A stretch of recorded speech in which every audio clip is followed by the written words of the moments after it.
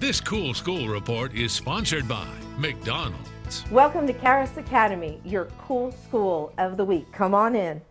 Good morning.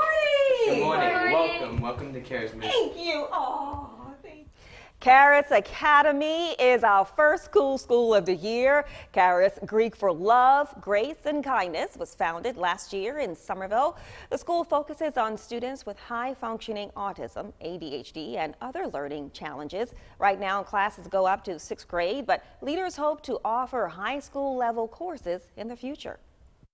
Since he's come here, um, people even within the first month of seeing him were like, wow, he's a different kid. Because he started to believe in himself. He started to believe that he could do math, he could do science, he could do all of those subjects because he was given help in a different way.